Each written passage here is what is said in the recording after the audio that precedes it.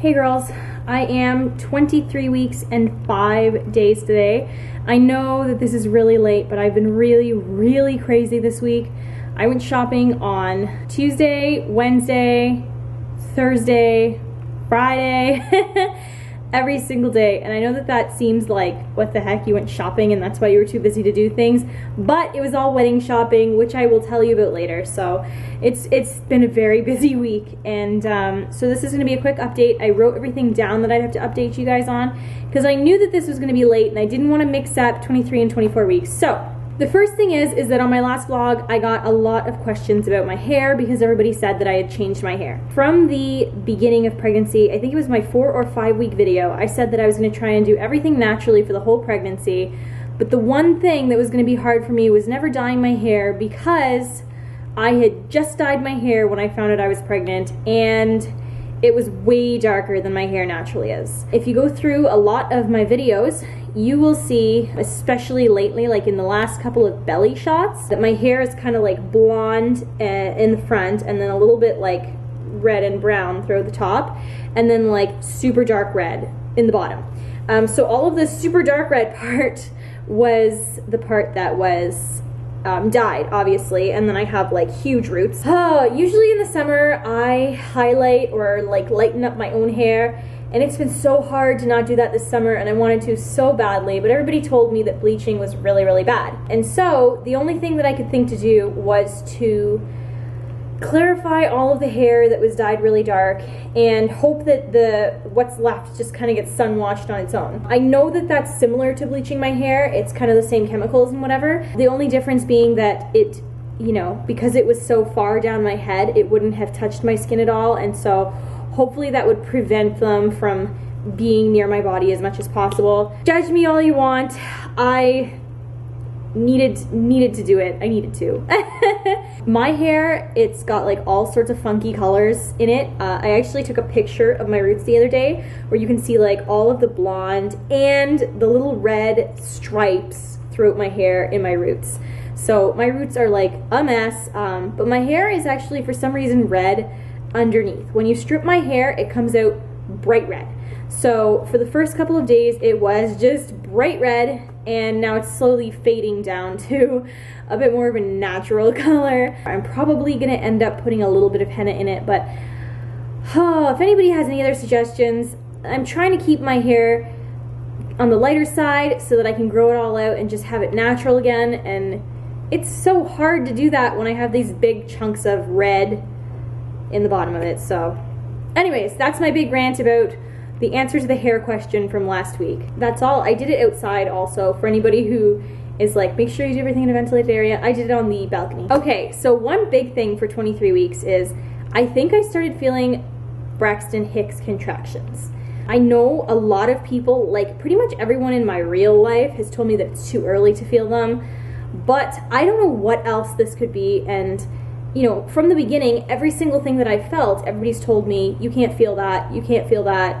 And like I have felt everything from the beginning. And so I don't know if my body is just super sensitive or if it's just that I know what's coming, so I'm trying hard to feel things or what. Maybe like once to twice a day, like, yeah, that often, I have this feeling and it's only in the very bottom of my belly, like underneath my belly button and it's literally like someone has their hands and they put them on my belly and then they just squeezed in like this until they could lock their hands. And then they just left them there for like a minute and a half. And I, I just don't know what else that could be. I don't know if I'm describing something else. If you think that I am like feel free to tell me. But the only other feeling that I've gotten that was tight like that is the feeling that I described I think in my 14 week video um, where it just got really heavy at the bottom. And that's more of like um, a feeling of like really having to go to the bathroom or something like that. This is similar because, yeah, it's a heavy feeling, but it's also just like a super tight feeling. And so they're okay. Um, it's They're not like painful or anything like that. They're just a little overwhelming because I'm usually doing something and then it's like all the focus is drawn to the bottom half of my belly. So that's really weird. But if you want, leave a comment below and let me know what you think that that is. Because, I don't know. I'm guessing with the BH contractions thing.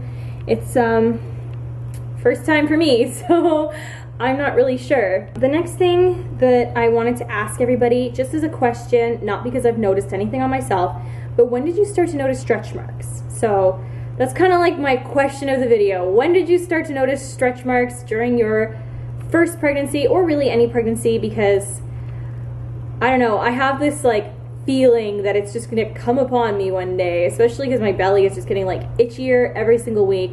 And I'm trying to use bio oil and I'm trying to use cream, but I hear that no matter what you do, you can't actually prevent it. You can only just make it a little better. So, oh, I don't know, but it's just everything is getting super itchy down there. And I was just wondering, yeah, I am so, so happy to finally be able to call the baby a he in all of my videos.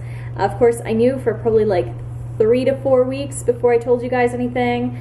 And that was really hard to do, was to keep saying it and then to switch to he when Alex and I were talking. And so the baby, even though we knew it was a boy, it turned into an it for so many weeks because we were so scared to use the word he in videos. So really glad to be able to do that. I guess that's all I'm gonna say. I'm really sorry that this is a short update, guys. I will definitely make a longer update for my 24 week video and I'll try and have some videos up soon. I know I was making like some days three videos and some weeks like six videos and now all of a sudden I've done just my like most basic of basic videos so I'm really gonna try and get back on it. I've just been so busy and now my back hurts.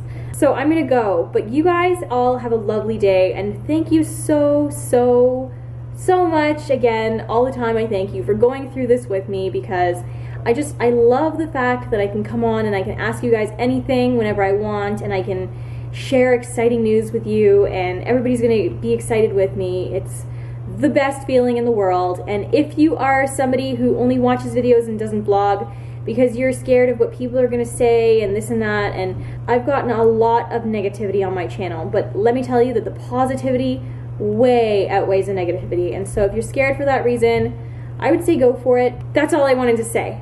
Have a good day, everybody.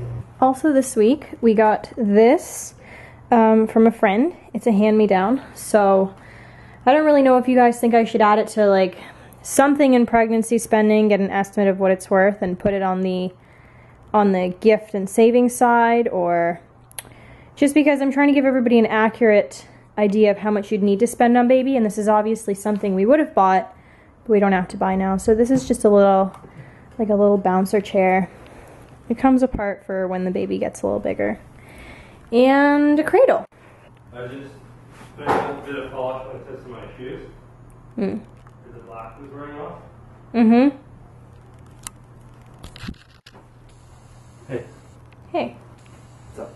I was showing everybody the cradle. Oh, it's cool, eh? It vibrates. Alex.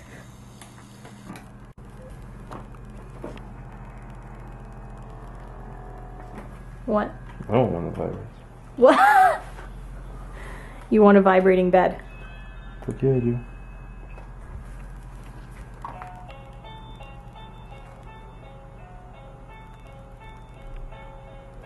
This sounds like uh, traveling music from Zelda Link's Awakening.